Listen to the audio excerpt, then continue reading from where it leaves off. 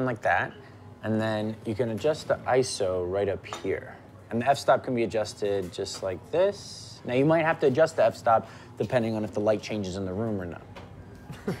you know what, let's just put it on automatic, you can point and shoot. How about that? Sounds good. Very good. I still don't get this. Oh, the behind the scenes stuff people love. It's interesting. Yeah. You see the guy? You sure? Almost positive. Warm-ups? Yeah. Uh, yes, please. Thank you. Making a movie? Oh no, uh, not quite. Uh, it's a web series. Do you mind?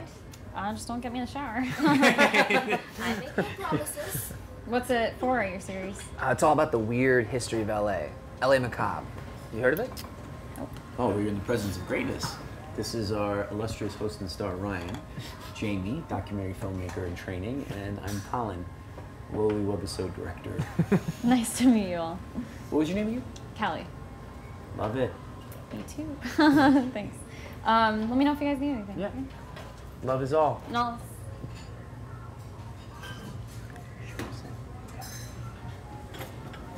What do you want?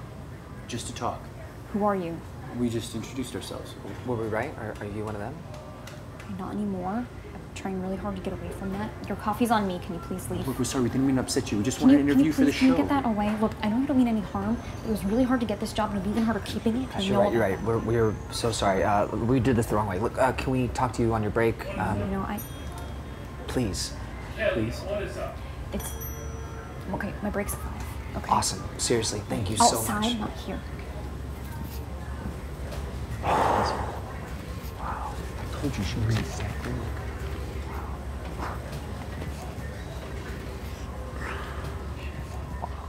It's basically like the grisly history of LA. It's, um, you know, like famous celebrities who died, things like that. Anyways, um, there's an episode about the new family, but we haven't been able to find any documentation on it. Well, what do you want to know? I mean, you know, just what it was like on the inside. You know, uh, how are your views versus Manson's? Uh, you know, what about breaking into people's houses? I mean, anything you'll tell us, really. I mean, it was so long ago, it's not really news anymore. Well, there's kind of a cult status to it now. Feel free to the fun. Yeah. Um, it's, I mean, they're all, like, the government broke it up and they're long gone, but I just, there's crazies out there. You know what I mean? I'm just, Yeah, I'm sure. afraid that they're going to see it and then, you, you know, show up on my doorstep. Uh, what if we blurred your face? We could blur your face, and then we could also distort your voice. That way, you wouldn't be able to be identified. Yeah, no one will ever know it's you. I promise. I don't know. I, What if we paid you? What? What if we paid you for your time? how much?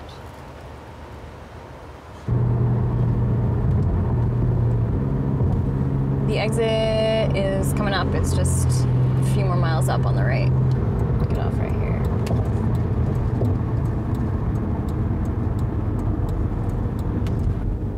Uh, left or right up here? Oh, um, sh- uh, right. Yeah. Did you mess with the settings? I got the lens wide open. Yeah, but the ISO's low to reduce grain. What? Give me that.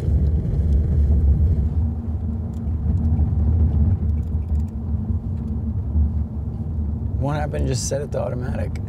Google. I think it's Avenue V. This one here. Yeah. Um, yeah. Mhm. Oh no, I'm sorry. It's it's that way. It goes to the right. Right? Yeah. So up here? Yeah. Sure. Yeah, yeah, yeah. So this is the place. Yep, one of them. They moved a lot, but this was the last one. Before the raid? Yeah. Hey everyone, welcome to our special episode of LA Macabre. We've got some really big news for you. And that's not really news, is it? Hey creepers, welcome to our very special episode of LA Macabre. We've got a special guest here for you today. It's very special. It's all full of special guests, special episode. Hey guys, welcome to a special episode of LA Macabre. This is the one we've been waiting for. We finally have a lead on the new family, a cult from the mid 2000s that modeled itself after, amongst others, the Manson family. I don't know if I like that one. Should we do it again? Yeah, five or six more should do it. Wow. Yeah, this is it.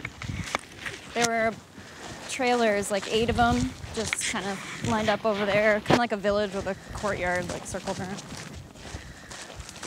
All right. That's pretty hidden too. It's nice. Wow. Where do you guys want to do the interview? Okay, you said the trailers were like over here-ish? Mm-hmm. Let's do it where, where the trailers were. So what were Bennett's philosophies? Was he trying to start a race war like Manson? Um, no, he wasn't racist. He was more interested in a class war. You know, like the poor rising up to take back what's theirs. What did he believe? What did he preach? Um, he believed whatever you believed, preached whatever would get you on his side. So it's safe to say that you thought he was full of shit? Yeah, he was. But how, you know, that age, how are you supposed to know? Did you feel isolated? Um, it wasn't really that simple. Um, me and my parents were a part of it since I was little, so I didn't really know anything else. So you didn't mind so much? What about if any of the members left? Did anybody leave? Um, not many. Um, maybe some of the older members. Just the older members, though? Not any of the younger ones? Or were they not allowed to leave? Um, Jody left. Um, he was younger, like 15. Friend of yours? I didn't really know him too well. I was maybe like 11. when Why did he left. leave? Difference of opinion, I guess. He didn't really get along with Bennett, so he just he left. Just walked out and Bennett let him go? No problem at all? Yeah. So he didn't go into the barrels? What? That was the deal, right? They had a bunch of petroleum barrels that they dumped out here, and if someone voluntarily stayed in the barrels for a few days, then they could leave, right? How did you know about that? So it's true? You said that you, you didn't know. Ryan, um, what much. is this? It's journalism. Callie, is it true they started off in the barrels?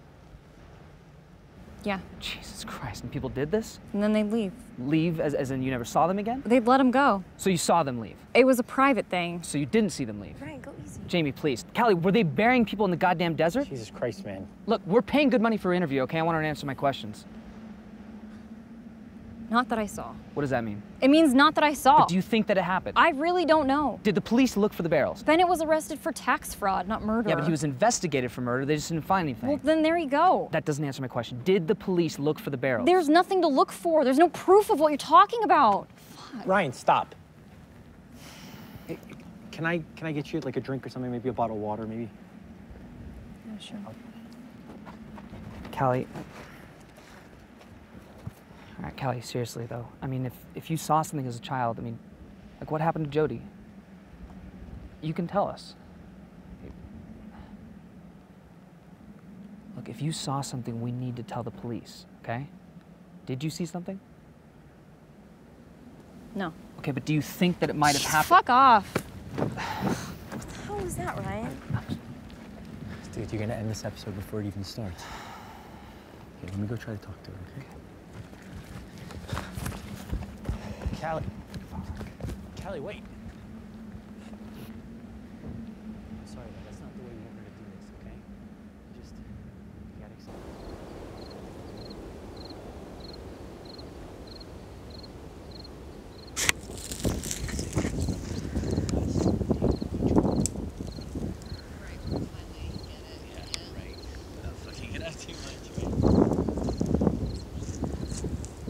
Ryan, they're coming back.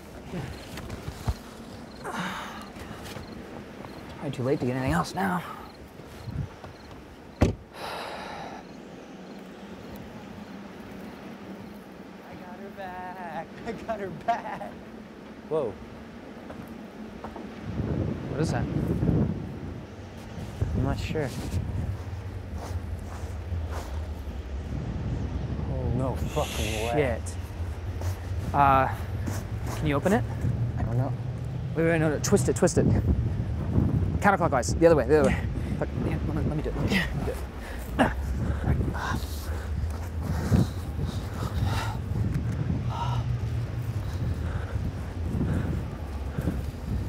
Hey, hey, hey, hey. You okay? Mm, okay, don't, don't, don't even look that way. Here, look at me, look at me, look at me. You'll be all right. It's okay. Just breathe, just breathe, just breathe. It's okay. Got it.